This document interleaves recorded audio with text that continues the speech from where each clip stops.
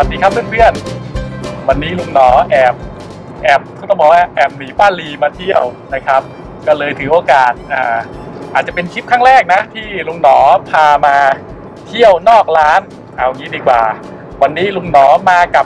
เพื่อนๆพี่ๆสองท่านอ่ามีพี่บอมท่านหนึ่งด้านด้านหลังฮะขอเสียงนะครับพี่บอมครับอ่าพี่บอมนี่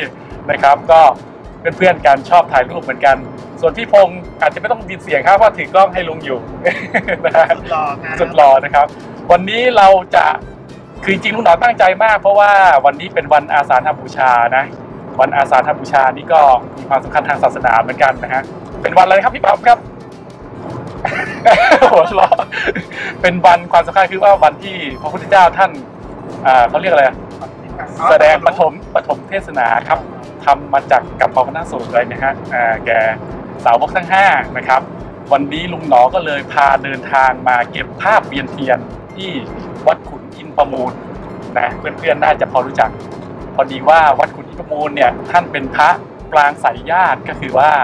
เป็นพระประจำวันอังคารคือพระนอนนะเรียกกันพระนอนนะฮะองค์ใหญ่มาก เดี๋ยววันนี้ลุงหนอจะมาเก็บเทียนบนนะครับ แล้วก็อาจจะพูดคุยเรื่องการใช้กระเป๋าที่ลุงหนอถือมาใช้งานวันนี้ด้วยนะครับ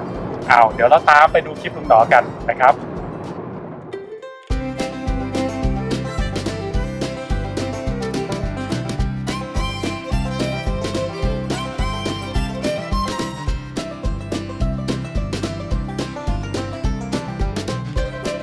เอาละครับเพื่อนๆ ตอนนี้ลุงหนอมาถึงวัดขุนอินประมูลแล้วนะครับ เดินทางมาพอสมควรเลย เพราะว่า ศกาลทำใจนิดนึงครับรถติดมากนะ แต่ว่าวันนี้จะมาเก็บแสงตอนเย็นนิดนึงรถเยอะฮะโอ้โหนี่ลุงกำลังเลี้ยวเข้าวัดนะรถเยอะมาก เดี๋ยวลุงหาที่จอดก่อนนะครับผม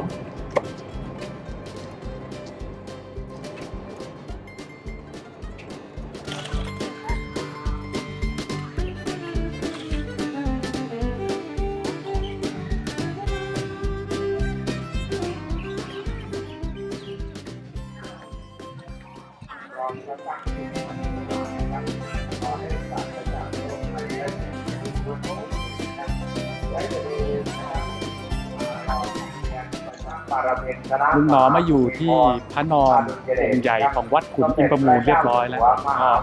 ตื่นเต้นดีครับท่านองค์ใหญ่มากเลยแต่ว่าเมื่อช่วงเช้าก่อนที่จะมาถึงวัดขุนอินประมูลลุงหนอก็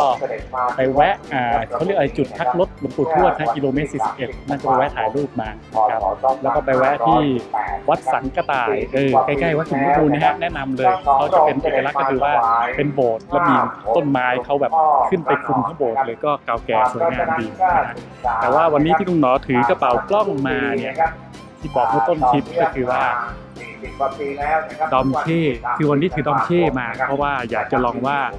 เวลาออกทริปจะเป็นไงบ้าง โดยปกติเนี่ยลุงหนอจะถือบิลลิงแฮมเป็นหลักเพราะบิลลิงแฮมมันค่อนข้างเบานะวันนี้ถือมาประมาณสัก 5 ชั่วโมง 6 ชั่วโมง ก็รู้สึกได้เลยว่า Domke เขาน้ำหนักเขาเยอะกว่า Billingham พอสมควรเลยนะครับอ่า shoulder pad ลุงบอกเลยถ้ามาดูสินค้า Domke ที่ร้านนี่ shoulder pad ช่วยได้เยอะมากนะครับมันจะหนาขึ้นเวลาถือเนี่ยมันไม่กดนะครับช่วยได้เยอะมีลุงหนอนนานๆออกมาข้างนอกทีก็เพลียๆกันแล้วแดดมันร้อนนะครับ แต่จุดเด่น Domke วันนี้ที่รู้สึกได้เลยสนุกมากๆก็คือ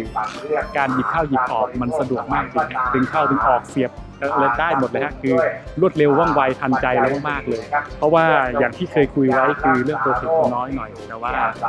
สไตล์ของดอมที่เขาจะเน้นหยิบเร็วหยิบคล่องเพื่อนๆอย่าไปซีเรียสตรงจุดนี้เพราะบางท่านมีถ้าถ้าซีเรียสเรื่องโปรเทคอาจจะต้องไปทางกลุ่มกระเป๋ากล้องบินแฮมหรือแบบไม่เป็นไร